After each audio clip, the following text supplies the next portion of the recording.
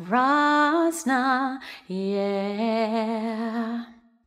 One happy birthday dot com.